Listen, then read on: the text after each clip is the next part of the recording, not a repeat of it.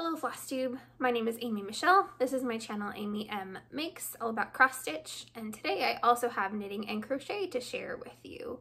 Uh, this is FlossTube number four. It has been four weeks since I did my last video. I had planned to come back in a couple of weeks, but it just didn't happen. Um, with being under the weather, with Easter, uh, school planning, life, all the things, um, I didn't have a whole lot to share either. I still don't have a whole lot to share, but um, I thought it would be fun to pop on and sh share all of my cross stitching and the knitting and crochet that I've been up to in the last four weeks.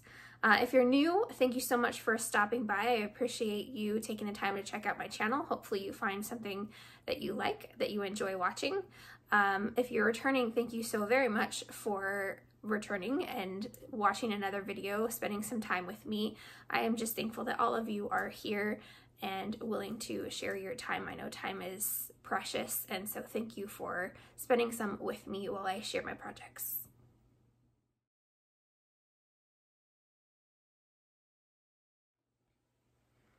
I'll start with my finish for cross stitch, which came out of the cross just cross stitch spring 2024 issue um, was Quaker Easter Egg from KEB Studio Creations. Uh, and I finished it, but I didn't fully finish it. And actually, I could use tips, advice. Um, I don't know what I want to do with it. So there's two reasons I haven't FFO'd this piece. One is I don't know. I don't know what to do with it, uh, how I want to finish it. And I haven't come across any great ideas that to, to do with it. And the other one is since Easter is over, I didn't have a whole lot of motivation to finish it like speedily. Um, and so so let me know if you have any ideas in the comments below of ways that you would finish that piece. I would very much appreciate it. Um, I'm running low on ideas. so yeah, let me know. Um, I finished this, or this was stitched on 14 count vintage country mocha Aida, and um, I used classic colorworks rod and reel and marvelous for the two colors and then um, I used beads that coordinated from Mill Hill. So that's how I did that one.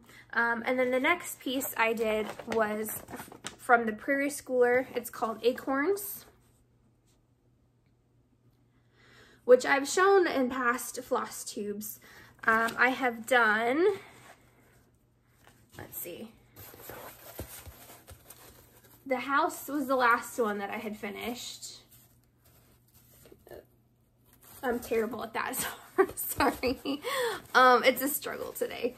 Um, there's the squirrel and the house. There we go. That's better. All the called for colors. And then I also did the crow and the pumpkin.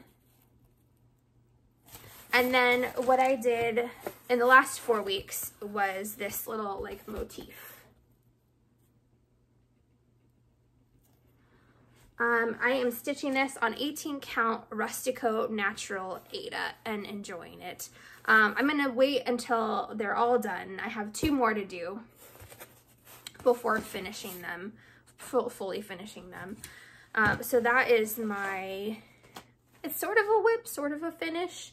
Um, cause I, it, I wanted to finish the whole, all six of them, all six designs. So I still have the cornucopia, and like the tree with the little, I'm thinking pilgrims. So those I'll do sometime in the next few months. Um, and then the other, let's see, what else have I been working on? Um, the other whip that I have is I Am Brave by Emily Call Stitching. And I have this one digitally I bought from Etsy. And I changed the colors. I bought what did I buy? Classic Colorworks Jakey Brown. Um, and I realized I might not have enough floss. I only bought one and I'm stitching it on Charles Craft 16 count Fiddler's Cloth Light Oatmeal. And I started to look at the skein and look at what I had left and think, oh, I don't know if that's gonna be enough. So I pulled out DMC 640 and DMC 152.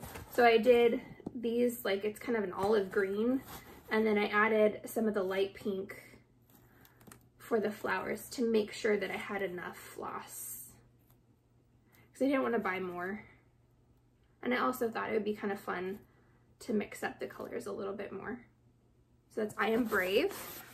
And then the last project that I've been working on is Kind Words by Primrose Cottage Stitches. And I'm doing this one for Katie the Novel Stitcher's Stitchy Book Club, which has been so fun. I'm loving participating in it. Um, we're reading a single thread and she's got all the information and the description of the book and everything on her floss tube. So if you're interested, go check her out. Um, it's going in April and May till the end of May. So there's still plenty of time if you're interested in hopping in. Um, it's been fun. Um, and here is my progress. I'm stitching it with the call for fabric, which is a 25 count white Lugana and all the called for DMCs. I forgot to read off what this Kind Words stitch says by Primrose Cottage Stitches. Um, it says, kind words are like honey, sweet to the soul. That is what that one will say. This is the first time I've stitched, oops, first time I've stitched on Lugana and I'm really, really enjoying it. It's been a lovely fabric to work on. I'm glad that I started with the 25 count. I think I'd like to try 28 count next. I've stitched on 28 count linen before and enjoyed it, um, but I think I like this Lugana even better.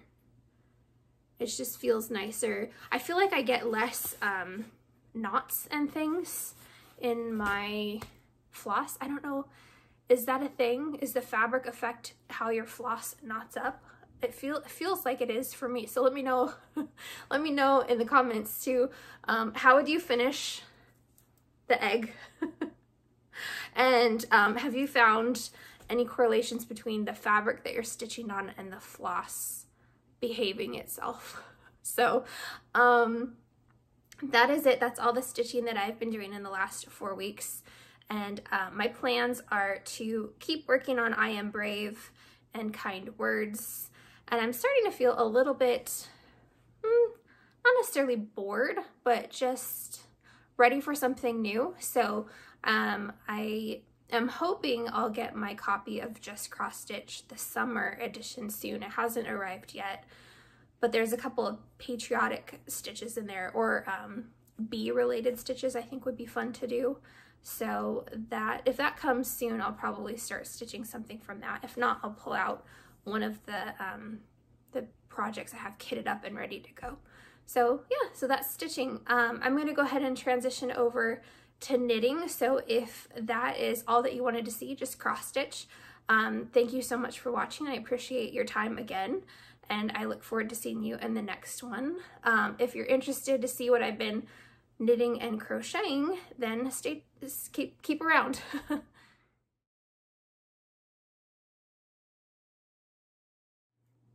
I'm gonna get some coffee. Knitting and crochet. I'll share what I've been working on for the last four weeks. Um, most of it's knitting. There is one crochet project that I shared on my last floss tube. I'll just show the progress that I made in the last four weeks on my blanket. But um, yeah, if you're interested in more of my knitting or crochet, you can find me on Ravelry, Amy M Makes, or on Instagram, Amy M Makes. Um, I post my projects both of those places as well. Uh, the first finish that I have is, looking at the name, the Broken Rib Socks. This is the second time I've knit this this pattern, excuse me, um, and I really enjoyed it. It is a solid go-to. I added these stripes because I was close to running out of this yarn, which is Manos del Uruguay. in freesias. And then this is a Cascade Heritage yarn. Um, I was close to running out because I used some of this yarn for another project um, and wanted to knit a pair of socks with what I had left. Um, and I didn't think I'd have enough, so I added these stripes at the bottom of the toe. But I love the pattern. It's a wonderful pattern. Um, I love having a pair of socks on the go pretty much at all times. It's a great travel project. It's easy to work on. Uh, so I like sock patterns that are easy to memorize. Um, this the next sock pattern, once I finish those, I cast these on. These are for my husband. Uh, it is the Slip It Simple sock pattern. So I finished this one and I keep it in this project bag by So Happy Creative. I have this much done on the second sock. I like doing socks one at a time magic loop. I have done two at a time magic loop and um, when it gets to the heel flap and gusset, which is what I like to do, um, it just gets a little more fiddly than I want it to be. So I do one at a time and that's worked great for me.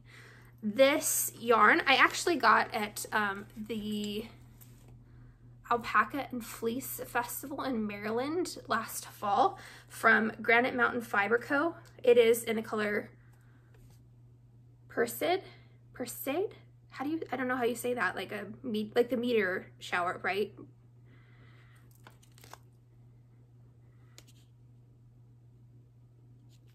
So I don't know how to say that, but um, I love the yarn, love the pattern. It's been really fun to knit. So those are my socks. Toss them out of the way. And then next I've worked on the Pay It Forward shawl. And I will put a picture here of what that project looks like. Um, and this is my progress. I love the pattern. I've actually done a test knit for Wolf and Fawn before and loved loved their design. I love all their designs and um, it's just a joy to knit. The colors, let's see, what am I using? I actually, I pulled out two other projects that I had finished to, to have the yarn to work on this shawl, shawl, scarf, shawlette. Um, the blue is Blush Fiber Co. I don't know the color. I don't remember the color. If I can, I'll find it and post it on my Ravelry page. And then the, this color was back when um, Knit Crate was around. It was a Knit Crate yarn. Let me see if I have the colors. I have the labels. That'll help. Blush, the blue is Blush Fiber Co. in the color Leaf Hopper. And the Knit Crate yarn is Uru Yarn, their Yarn Scoot Sock. Color is Positive Change. So those are the colors. Oh, I'm keeping that one in my Ravenclaw because I'm a Ravenclaw um, project bag. Let's see, what else have I been working on? Um, I've been working on what is the name of the pattern? Fluffy Poof Cardi, and I'll put the picture of what that looks like here. Um, and I am knitting that out of Knit Crate, not, not Knit Crate, excuse me, Knit Picks Upcycle Alpaca Blend in the color Sandalwood. So that's that yarn. And this is my progress. I'm working on the collar. I've got the body done. I haven't done the sleeves. And I'm working on the collar.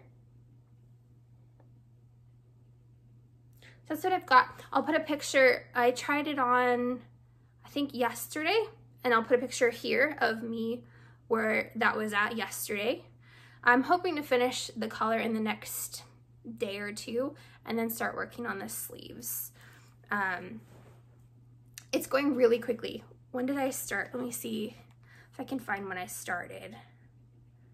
Well, I mean, I started in the last four weeks. so in the last four weeks, um, I've got the body of the sweater done and the collar almost finished. And I just have the sleeves. And then, let's see, that one is living in this project bag that I got off of Etsy, which I think is adorable. Um, and then the last project has been my crochet blanket, which I showed last floss tube. And I was here where the yellow marker is, and I just have done a bit more. So again, this is a really, really simple all double crochet blanket with a random stripe generator. Um, see if I can show more of it. It's been a really fun project to do that doesn't require any thinking. So um, the other ones though um, have had sections like the pay it forward shawl and the fluffy poof cardi have had times for sure where I can like read and work on it. It's just simple stockinette, um, which has been nice, but with enough interest that I don't get bored. So, um, so that is all of my knitting and crochet over the last four weeks. Um, if you stuck around, thank you so much. I appreciate you watching both cross stitching and knitting and crochet. Um, I hope you have a wonderful, wonderful week, wonderful couple of weeks until I'm back. Uh, and then after that too, of course. But um, stitching, knitting, reading, crocheting, whatever it is that you are um, enjoying, I hope that you're finding a lot of joy in it. Um, I look forward to seeing you in the next one.